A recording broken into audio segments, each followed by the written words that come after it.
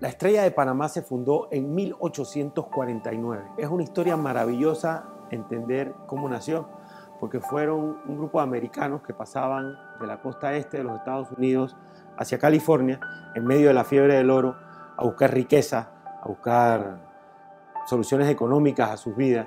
Sin embargo, el buque que los debía llevar se retrasó y se quedaron en Panamá. Como uno de ellos había trabajado en un periódico en Nueva York, decidió fundar un periódico para acabar con el tedio, o sea, con el aburrimiento que tenían en este país. No entendían la cultura, no entendían el idioma, no entendían la idiosincrasia de los panameños.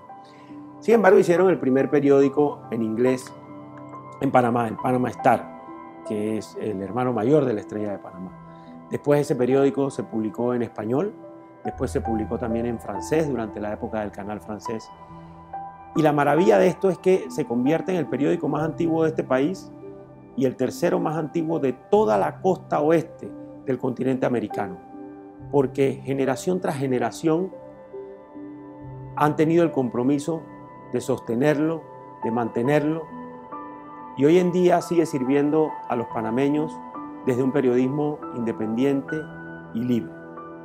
El diario La Estrella de Panamá no es un diario más de nuestro país desde las páginas del diario se han contado los hechos más importantes de la historia republicana, de la lucha generacional por la recuperación de la soberanía sobre el territorio de la zona del canal y la dignidad del pueblo panameño. Están recogidos todas las protestas y esfuerzos panameños por negociar un nuevo tratado en reemplazo del Jaibuno Varila y por recibir mejor trato y respeto de los estadounidenses. La firma del Tratado Arias Roosevelt en 1936 entre Armodio Arias y Franklin Delano Roosevelt, Panamá empezó a ser una verdadera república. La estrella de Panamá estuvo en la gesta del 9 de enero y reportó día a día los sucesos, la caída de los mártires y las acciones tomadas por el gobierno y el pueblo panameño para exigir justicia. El diario recogió también la firma de los tratados Torrijos-Carter en 1977 entre el líder Omar Torrijos y el presidente Jimmy Carter. Y finalmente la entrega del canal el 31 de diciembre de 1999, nuestra gran victoria, cuando los panameños entramos en la zona del canal y tomamos lo que era nuestro definitivamente. Desde 1903, los reporteros de la Estrella de Panamá han informado sobre los acontecimientos políticos más importantes de la historia del país. Desde la elección del primer presidente, Manuel Amador Guerrero, por votación indirecta, hasta la primera elección popular por votación directa en 1920 en que ganó Belisario Porras, hasta el golpe militar de 1968 y la vuelta a la democracia en el año 1989. A través de los años, la sociedad panameña se ha estremecido por innumerables sucesos sorpresivos, con mucha angustia, con dolor, rivalidades, conflictos, intereses en contrapuestos.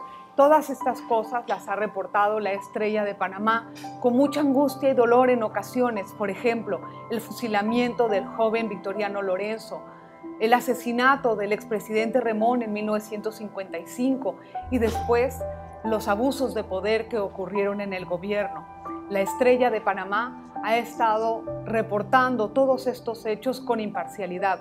A través de la búsqueda de la verdad, del reporte independiente, se han reportado todos estos hechos en el diario La Estrella de Panamá para que el lector tenga la oportunidad de conocer la verdad y objetividad de todas estas situaciones.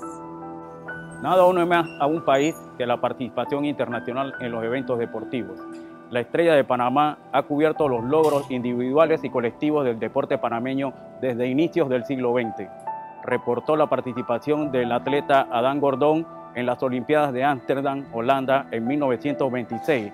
Los panameños estuvimos pendientes de la participación del atleta Irving Saladino en las Olimpiadas de Pekín 2008, desde su llegada a tierras orientales hasta su participación en dicho torneo donde ganó la medalla de oro, la única presea dorada que ha ganado nuestro país en su historia, así como la actuación de nuestro gran boxeador Roberto Durán cuando derrotó a Sugar Ray Leonard en Montreal en 1980.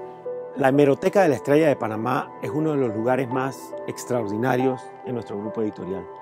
Conserva los ejemplares de los diarios desde 1849, cuando se fundó el Panama Star. Cada uno de estos tomos, que recoge 30 días, tiene la historia del país del Panamá de la época en que fuimos parte de la Nueva Granada, del Panamá de la época en que éramos un departamento de la República de Colombia y a partir del 3 de noviembre de 1903 del Panamá republicano. Es un contenido valiosísimo y además es emocionante pensar cuando los periodistas entran aquí a revivir el trabajo que hicieron sus colegas de generaciones anteriores. Conservamos una versión exacta de lo que fue el primer ejemplar, el de ese emblemático 24 de febrero de 1849 del Panama Star.